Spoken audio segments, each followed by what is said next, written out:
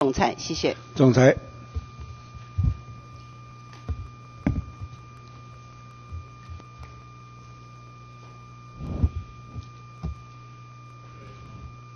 总裁，你早。都要请教总裁，我想请教你哈，有几点要请教你。最近呐、你对于那个一些房屋土地呀、还有那一些那个融资贷款的话，这个抑制的话，成效是不错吧？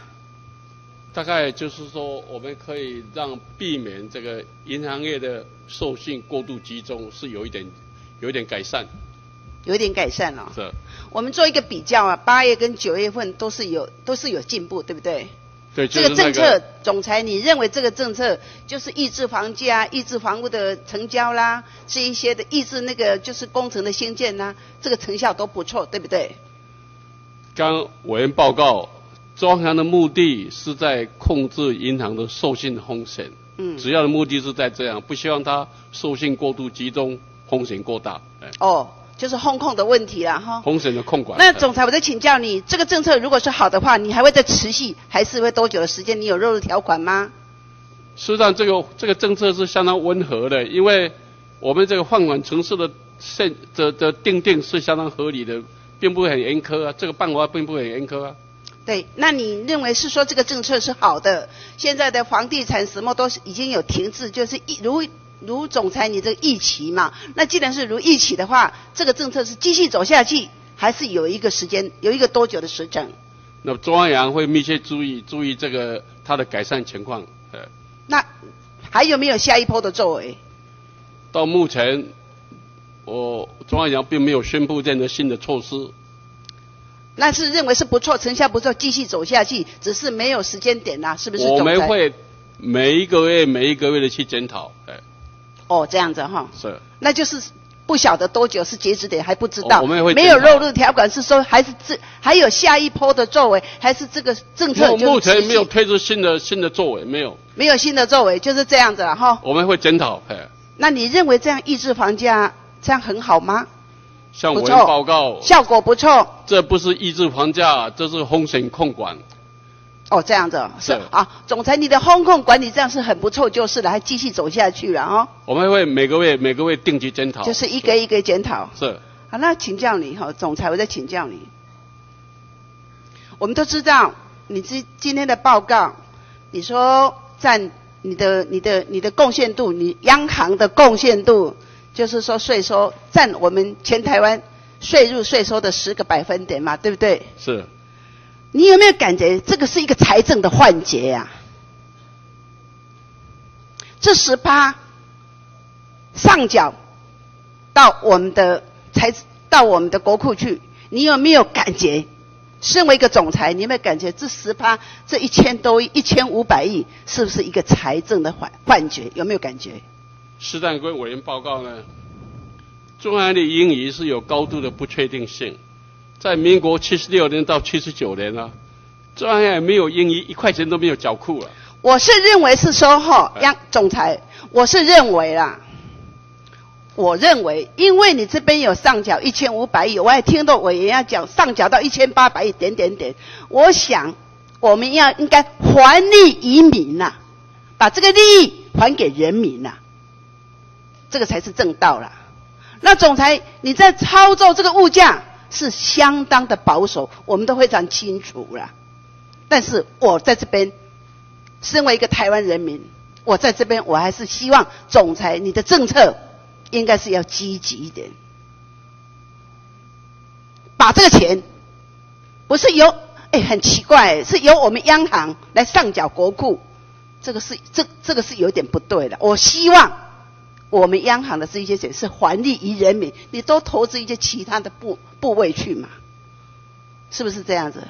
像委员报对于，企业的，如果说企业有什么问题，你应该要有政策来帮忙嘛，这个才是正道啊，总裁对不对？像委员报告，中央的英语缴库缴库就是还，就是归老百姓共共用啊。这是政府的施政用，就是全部用在老百姓的身上啊。还还有一点呢，还有一点呢，总裁，我要请教你了。我们都知道，我们这五年来，我们的升值是九点九个百分点，九点九趴发现，韩国是贬值十七点九，我们政务加起来七七要三十，对不对？嗯当然，你听到这个你又不高兴了，我知道你会不高兴，因不会不会不会这个没有那么容易的，我知道你会很不高兴。不会，但是我们都非常清楚，汇率的操操纵啊，并不是说你说哦，总裁你要讲怎样就怎样，是有一个有一个逻辑，有一个定力的，是不是？是不是这样子？像委员报告呢，委员提的数字，我再说明一下子。这关键就在两千零八年韩元大幅贬值了二十七点五嘛。它背后的原因就是在两千零八年韩国的外汇存底减少了六百一十亿美金，它还从纽约联邦准备银行做了 swap 三百亿，所以它这个整个资金外逃，所以韩元大幅贬值。那回过头来看看台湾呢，我们那一年还外汇存底增加两百亿，在这个截然不同的情况之下，台币怎么能够跟韩元这样贬呢？没办法嘛。没办法。那总裁，我再请教刚刚的议题，我再请教你一下，你认为我们上缴一千五百亿，你你认为是对我们国家是好还是坏？我希望政府的财政收入不要依赖中央的盈余缴库，因为中央的盈余是有高度的不确定性。我刚才报告过，在七十六年到七十九年，中央没有缴库一块钱的。好，那总裁你讲的很很对呀、那你往后你就不要编一千五百亿呀，把这个还利于人民啊，这个政策你应该定定出来。你今年还是在编了十趴，还是上缴一千五百亿？总裁，你有受到上级的积习不？没有，只是跟委员报告，因为中央银行除了资金货好币，那总裁你说没有，那你认为上缴一千五百亿是好还是坏？你你可以说说好还是好还是不好？你讲起来。像像委员报告，因为中央银行替国家管理资产，管理这些外汇资产，中央银行的同事非常努力的，他几乎是全年无休，一天二十四小时，纽伦敦、纽约、台北在在 trading，所以中央银行的同仁他有使命感，他非常努力的在营运这些资产，所以当然他能够赚钱，当然我要鼓励他，赚钱没有什么不好啊。假如在封神的控管之下能够赚钱，当然是好的事情啊。哦，你是说上缴一千五百亿是台对台湾人民是好的是吧，总裁？对啊，假如说我们的是资产能够提升它的报酬率，对国家是好的，对人民是好的啊。哎，那总裁，我们一个逻辑来谈一下好不好？如果降低央行的缴库啦，政府势必呀、要大幅的加税啦，这个是一个前提啦。如果央行赚钱啦，是一个变相的加税啦，这是隐藏的隐藏的税负啦，对不对，总裁？跟委员报告呢，中央赚的钱是从国那你外赚来的啊你如果说。央行赚钱，不如这些钱还诸于人民，让台湾人民的民间也顺起来较少啦，对不对，总刚裁？跟委员报告，中央盈余缴库就是还诸于老百姓啊，就是施政所为啊，全民共享啊。我想最后一句还是一样，还是一个一一个一个财政的幻觉哈，迷幻药这样的幻觉，对台湾人民是不好的啦，是不是总裁？我我也希望我们的政府呢，就说我们的税日不要依赖中央呀，因为中央的英语是有高度不这确定性。些效率的问题啦。诶再来，总裁，我再请教你。我我们都知道央行是一个事业单位嘛，对不对？是是吧？哈，是不是？是，那最近的一个社会的一个观感啦、那你这边有有有一个有一个央行银行法第十二条的有一个业务规范范围啦，是好、是那你说依法不给予员工了，因为央行有领员工有领十三趴，对不对？